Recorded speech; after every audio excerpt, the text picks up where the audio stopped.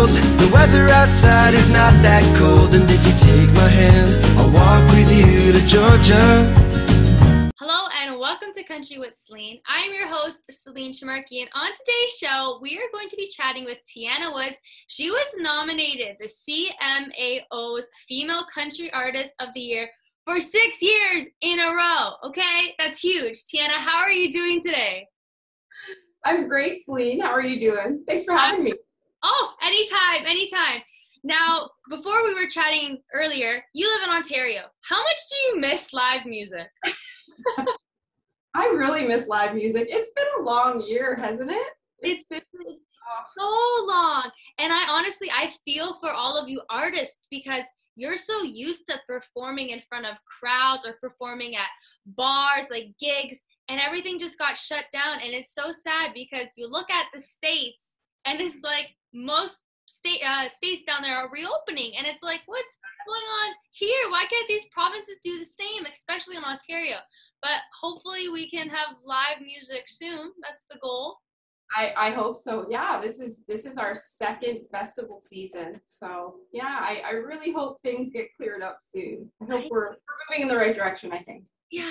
Oh, slowly but surely. Slowly but surely. Yeah. A second festival season. Yeah, like oh, honestly, I could talk about this for days, but we're not even going to get into that because it just makes me really mad. And I'm sure it makes you mad too. But what have you been up to? Tell all the viewers what you've been up to.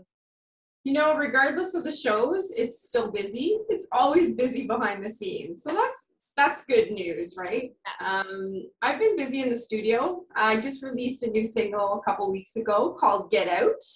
And it's actually perfect for right now because it's about getting out of the house.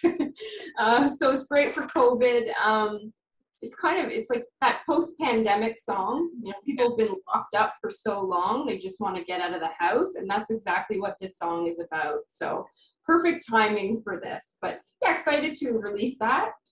Uh, written by a couple friends of mine, uh, Doug Jackson, Joyce Sampson, and Jeff Power everybody just wants to get out whether it's to go for a walk to go to put your garbage out on the street too or like go to a bar like people are just craving that because we've been restricted from that like normalcy for a while now and it's really starting to get it and play with our mental health physical like everything it really is. So i love that you put that song out it's bringing everybody's moods up. That's what we need in a time like this those upbeat songs and and yeah, that's awesome. So I just want to get a little history out of you. How long have you been in the music field for? Uh, you know what? I've been doing music since I was a little girl. Uh, I started training when I was younger, did all the dance lessons and the music lessons. I went to an arts high school, uh, Etobicoke School of the Arts. Um, ECI, went to ECI. Okay, okay. I'm familiar with that school. Yeah, which great school, and was able to you know really focus on my music theater and music and dance background there. Mm-hmm. And then um, I did a lot of theater shows before I got into band, like with a band. Uh, I went to Japan. Uh, I played Anne Anne of Green Gables in Japan for two weeks, which was absolutely amazing and yeah and then once i finished university i really decided i wanted to focus in in the music field. And so i've kind of been doing music since then with a band and country music i'd say uh, the last five to seven years. I've been focusing on that. So yeah it's it's great. I love it. So did like your mom or your dad like get you into music? Did they ever play like um, a certain instrument or were they always like singing around the house? Like how, how was your childhood like yeah, so my dad used to play drums, so he did that a long time ago, and he was into artistic roller skating. So I kind of get my artistic side of things from him. Mm. Uh, he used to train uh, artistic roller skaters. He had a gold medalist, so um, he was very involved with that. So I think that's where I get my dancing and my music side from. Yeah. And then my mom's side, so my, my sister's very involved with music. She she plays instruments. She's a music teacher, uh, but was never really into the entertainment part of it.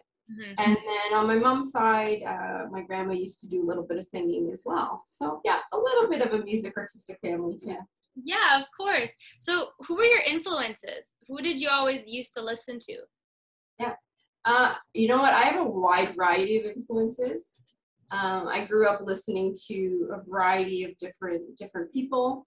My dad has like a huge, a huge record collection in the basement, which he still has today. But we just we grew up listening to music. You know, they they'd expose us to different things like Elvis Presley, um, the Beatles, you know, all of the classics. Mm-hmm. And then as we got older, they would take my sister and I to to different shows, so we could just experience different people and just appreciate different genres. Yeah, like a little like diversity in there and get to appreciate all the different genres instead of just one. But you mentioned Elvis Presley. Okay, yeah, I love him. I came from a Presley household. My middle name is Priscilla for a reason. Um, yeah. Uh, so I was gonna ask, have you ever been to like Memphis? Have you seen Graceland? I have not. That's actually on my bucket list. But I have the same birthday as Elvis. Your dad's January eighth oh, that's neat. My parents saw him live. I know a few times. I didn't get to experience that, but no, I love his music. We grew up listening to it. I still perform some of his music today. Um, and yeah, he's definitely a great influence. Yeah, of course. And, and you got to go when, uh, well, I'm sure you could even travel down now. There's just like quarantines and the tests and all that stuff. But if you ever get the chance, you have to go. It's so surreal. Like I know I'm getting off topic here, but like it's so surreal to be there and to like immerse yourself in all of that. Like to think like Elvis sat here, Elvis ate like here, like that's his like it's so so so neat. And whenever you get the chance, you gotta go, especially to Nashville itself. Like it's like you gotta go to oh, Nashville. Yeah, no, Nashville I've been a few times. Oh, yeah, yeah. We go there quite a bit. We haven't over the last year because of the pandemic, but no, I'm always going to Nashville. I've got friends there. Um, I actually performed at Dollywood uh, in the States, which was pretty amazing. Um, and I go down to write and just meet up with with some of my music friends there. So it's it's an amazing area. Yeah, love Nashville. Nashville is the place to be if you want to be a country music artist or even just an artist in general sometimes like because you're surrounded by so much talent down there. And there's a lot of Canadian talent too down there nowadays. So many artists from like all across Canada, like in Alberta, on Ontario, Saskatchewan, like everywhere is just going down to Nashville and they're meeting up with so many talented singer songwriters and they're just coming out with like all these like hit songs like even with Meghan Patrick nowadays like she's just rocking it down there she's killing it yeah, no, it's definitely amazing. Very inspirational when you go and you do mm-hmm. see it. Like yeah. people have not been, they should go. Whether you like country music or you don't like country music, yeah.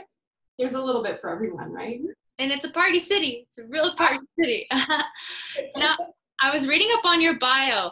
Okay, so you can play quite a number of instruments.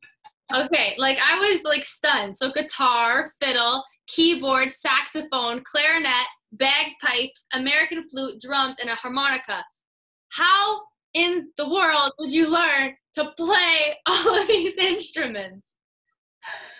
Oh, well, I'm always trying to learn new things. So, um, when I was young, uh, my parents, you know, basically said to me, okay, Tianna, you can do whatever you want, you can learn whatever you want, but you can't quit. So I just keep learning, you know, like as a younger to an adult, um, even in my adult years, you know, you just try to keep incorporating things and adding them to your list of things. Oh, I'm gonna hear my, I just brought me my, this is my North American flute. This is a pretty special flute for me because it was customized for me. It's got my, backwards, but it's got my logo on there. Yeah.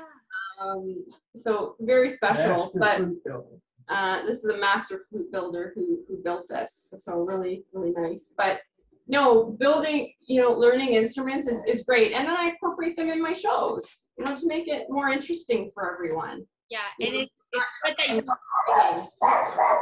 it's good that you know how to play like all different instruments because let's just say like hypothetically one of your band members is out like you got no one to play the drums or no one to do this. It's like i got it. I'll do this and sing at the same time. Right? And you have more appreciation for the music itself. So if you're, you're, you know, I'm in the studio, I can say, oh, you know, I hear this, or you know, if we're in band practice, hey guys, why don't you try this, or you know, just a more appreciation, and you can kind of talk through the music and the arrangements as well. Yeah. And now take us through your songwriting. How do you come up with songs? What like is it something that just comes to you naturally? Like you'll be out and a song, like a mm-hmm. lyric will just pop in your head or a quote and you just start writing down or does it take you like kind of a couple hours or days? Like how, how does it all work for you? Uh, for me, I usually like to write based on titles you know so i'll i'll come up with a creative title and then i'll just build the song from there. Um, i do some a lot of co-writing as well. So you know we're we're sharing ideas and coming up and brainstorming ideas together. Oh, yeah. but but titles uh, are the best way for me. Yeah i feel like titles are key because as soon as you write down like a title you just know what that song is going to be about because the title it gives it away right away, right? I mean, there's probably some songs that are kind of deceiving, but majority of them, once you read the title, you know if it's going to be like a sappy song or a happy song or, or so on and so forth. Now, Tianna, I want to like talk to you about more personal stuff. So I always play this game called Country with Celine Rapid Fire with all the artists, and it's just to kind of get to know more personal stories out of you, stuff that like you probably wouldn't have gotten asked in a regular interview. Um, so the first one I want to start off, and I've been getting a lot of funny answers from this, so I really want to ask it. What is your most embarrassing moment? um, falling off a ladder in a show. I think that would yeah, I was actually in Japan doing a theater show. It was live, Anne of Green Gables. And um, there's a set. I had to come out of a window and climb down a ladder. Well, the ladder was not locked when I climbed down the ladder. And I just, yeah, fell. Luckily, I fell on my two feet, which was good. But yeah, it was a little bit embarrassing. That's terrifying that's it, climbing a, that's like my biggest fear because i work at a toy store and i'm always climbing ladders. So like i'm terrified of heights so the ladder's not that tall but for me that was tall enough. what is your proudest accomplishment? Proudest accomplishment? Ah well i would say going to japan was amazing like getting that lead role. Um and also performing on stage with um, Carroll Baker. That was pretty amazing. Yeah. Uh, I was at one of her shows. She actually called me up to do a song with her. So that was amazing. Yeah, really yeah. amazing. Stuff like yeah. that you always remember. You always hold a place of that in your heart. And then also performing in Dollywood. Kerry Chater. Yeah, performing in Dollywood um, and uh, working with Kerry Chater, who is an amazing songwriter in Nashville. He's like written for everyone under the sun. Wow. Reba McEntire, Alan Jackson, like all the big, big people. Mm-hmm. Um, he's like a true friend of mine, and I've had the opportunity to work with him. Uh, he's also Canadian, lives lives in the states now, but amazing. Yeah, so I have, I have a few moments that I would say. That's awesome. The more, the merrier. yeah, for sure. what is your favorite saying? Just do it. I love that. I love that. I've been saying that to myself like every day for like this past two weeks. it's true. Uh, I saw a video on that a few months ago and it was just about like just doing it. You know, you don't feel like it, just get out and just do it. Yep. That's all. Yeah, exactly. Just do it. That's all you can say. and what celebrity would you like to call up and go for a Starbucks with? Uh, I would say Reba McEntire. I love Reba. Like I've I've always admired her. You know, she's such an amazing female artist. Yeah. Uh, a strong woman, just in general. Um, I've seen her a few times perform at uh, Fallsview Casino, and she's just amazing. She commands that stage. you know, she's got such great experience. I would love to have a coffee with her. So is that someone that you would idolize? Absolutely. Yeah. I yeah. missed the show Reba. That was a good show. That was yeah, it was a good show. Right? Yeah. Funny lady too. She's got a good sense of humor and just seemed I've never met her, but she seems like she's got a really good heart and yeah. Yes. And what was your first job? Let's bring it back. oh, cashier. Cashier. Cashier, yes. We um just in a, a, supermarket down the street, down the street from actually my house here. Um, yeah, I was there for for years. Oh, that phone ringing here. Um, all good, all good. It's life.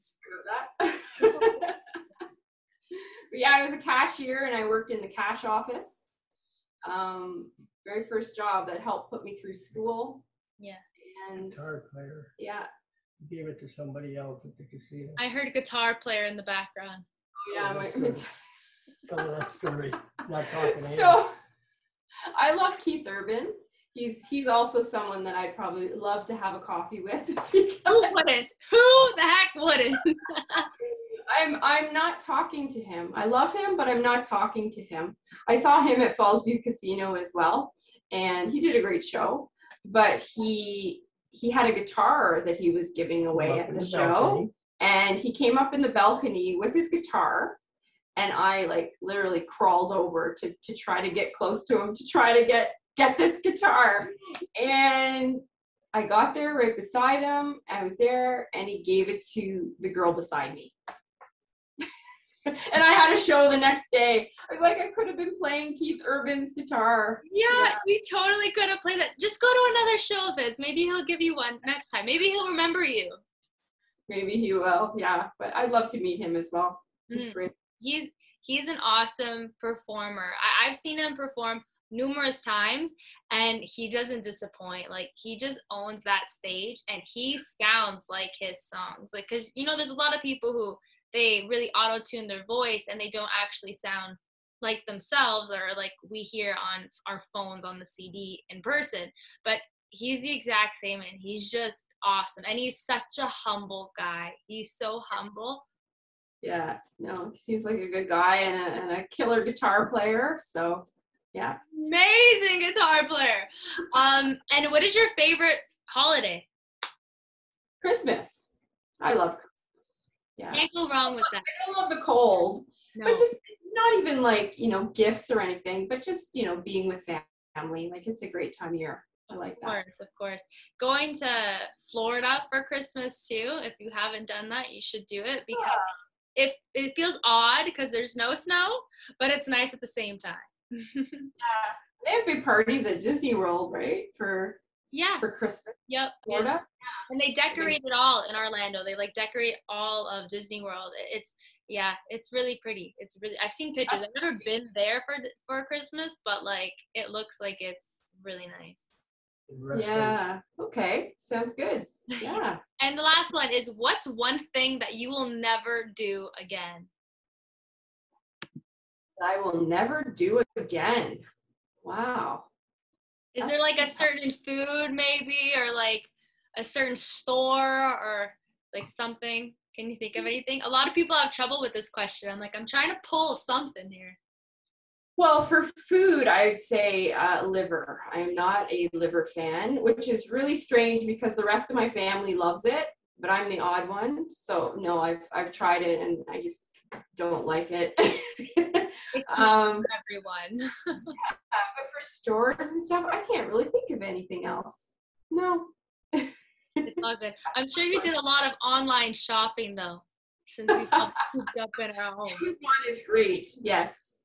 Amazon is really good. And, and it's great because you can order online. There's no hassle returns. So yes, definitely. Definitely. So true. So true. Yeah. Amazon is top notch. Such a good site. It really pulls out all of your money though out of your wallet. I will say that, but it's worth it. It is worth it.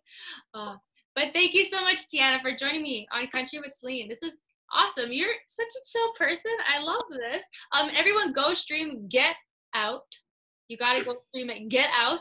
And also, we hope that live music is back soon so you can see Tianna Woods perform, but we will just be waiting around to see when that can be. Yeah, absolutely. And and they can check out all my music on my website. Um, so I have an online store, so all of my music's on my website. There's merchandise on there, and you can check out some other interesting tips. You know, I've got a full bio and everything, and um, you can read about the instruments. Used to be a you know wrestling announcer. They can read about that. So just different different different things. Hold up, hold up. I didn't know that part. you used to be a wrestling announcer? Yeah, like like WWE style. Yeah, my family used to own uh, a wrestling federation called the EWF and LWF. And I used to be, I started running the music for it, and then I became the, the ring announcer. And it was great. Lots, met lots of the, the older wrestlers, King Kong Bundy, Sensational Sherri did a pilot with us for like a female wrestling pilot. Um, lots of great people. Yeah, it was fun. A lot That's of fun. Awesome. Oh, what? I did not know that. And I read your bio too, and I did not know that. Um, but that's really cool. Wow, you have a lot of accomplishments underneath your belt. Well, thank you. We'll, we'll keep adding to that. but adding, you know, we're, we're still young. We're still young. We got our lives ahead of us.